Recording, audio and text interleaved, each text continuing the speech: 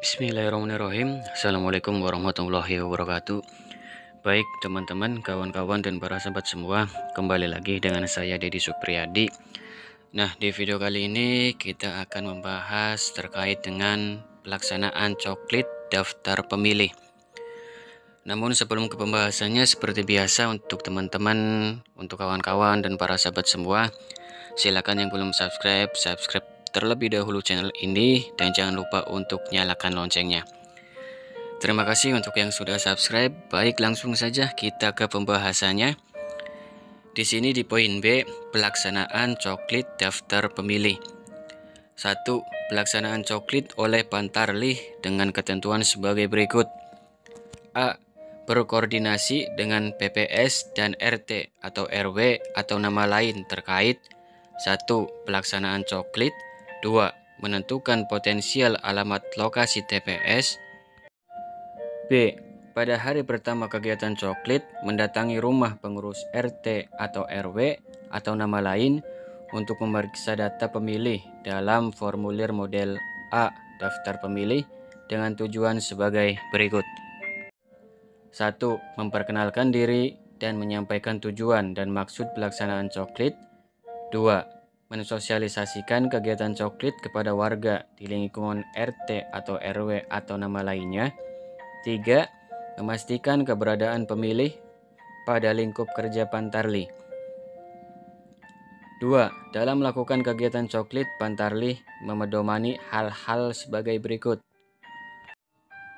A. Tata cara pelaksanaan coklit meliputi 1. Selalu memakai tanda pengenal Pantarli 2. Menyapa pemilih dengan ramah dan santun. 3. Memperkenalkan identitas Pantarli. 4. Meminta waktu dan kesediaan pemilih dalam pelaksanaan coklit. 5. Membacakan atau menunjukkan nama-nama anggota keluarga pemilik rumah di dalam formulir model A daftar pemilih. 6 meminta kepala keluarga atau anggota keluarga untuk menunjukkan KTPL atau kartu keluarga sebagaimana dimaksud angka 5 dan 7 jika terdapat anggota keluarga yang terdaftar dalam formulir model A daftar pemilih tetapi tidak dapat menggunakan hak pilihnya di TPS yang sesuai dengan alamat pada KTPL-nya maka Pantarlih menyampaikan kepada keluarga untuk mengingatkan pemilih tersebut untuk segera mengurus pindah memilih setelah penetapan DPT. B. Petunjuk pengisian kertas kerja Pantarlih dalam pelaksanaan coklit meliputi 1. Formulir model A daftar pemilih dengan ketentuan sebagai berikut.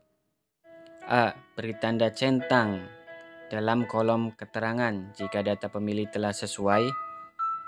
B dalam hal terdapat informasi pemilih yang tidak akurat, salah, atau tidak lengkap, maka Pantarlih memperbaiki atau melengkapi data tersebut. Berdasarkan KTPL atau kartu keluarga pemilih dan menuliskan kode ubah data pada kolom keterangan. C. Dalam hal ditemukan data pemilih yang tidak sesuai, Pantarlih melakukan pencoretan dan menuliskan perbaikan pada baris kosong di bawah baris pemilih tersebut. D. Dalam hal pemilih menyandang disabilitas, maka Pantarlih menuliskan jenis disabilitas pada kolom disabilitas dengan pedoman sebagai berikut. 1. Disabilitas fisik yaitu terganggunya fungsi gerak antara lain karena amputasi, lumpuh layu, atau kaku, paraplegia atau kelumpuhan anggota gerak, cerebral palsy atau gangguan pada otot gerak, akibat stroke, akibat kusta, dan orang kecil.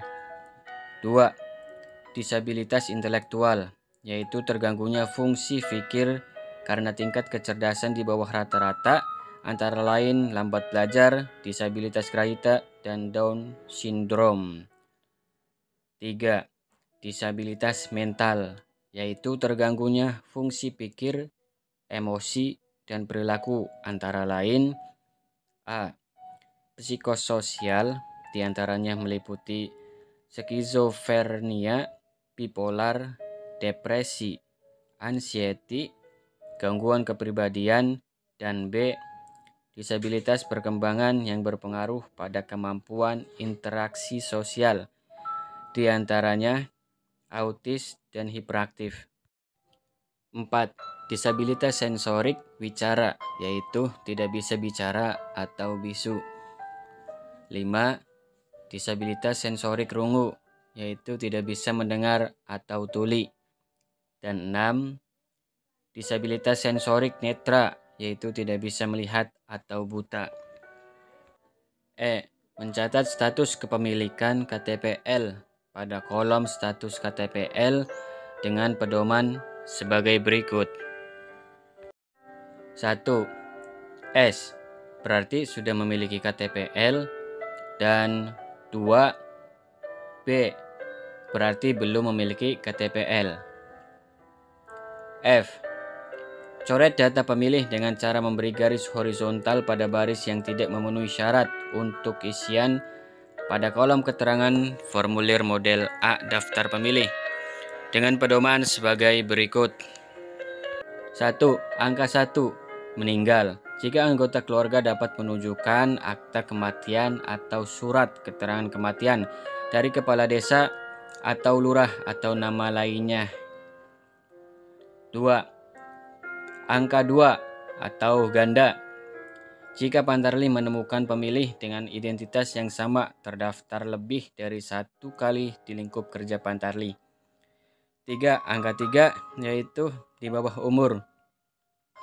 Yaitu jika Pantarli menemukan pemilih yang berusia di bawah umur atau usia 17 tahun dan belum kawin berdasarkan dokumen kependudukan berupa kartu keluarga.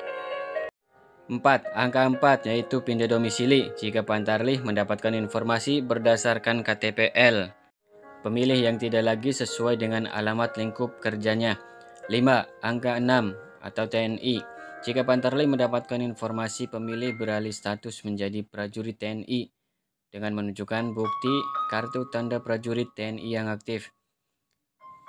Kemudian 6, angka 7 yaitu Polri. Jika Pantarlih mendapatkan informasi pemilih beralih status menjadi anggota Polri dengan menunjukkan bukti kartu tanda anggota Polri yang aktif. Dan 7, angka 8 atau salah penempatan TPS.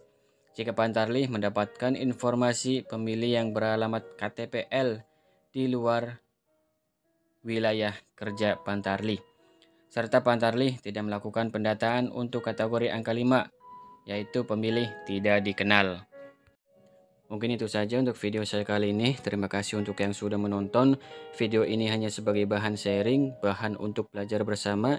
Bila mana ada kekurangan atau ada koreksi, boleh teman-teman, kawan-kawan, dan para sahabat semua koreksi di kolom komentar. Itu saja, terima kasih. Akhir kata, wallahul muwafiq ila komentarik. Wassalamualaikum warahmatullahi wabarakatuh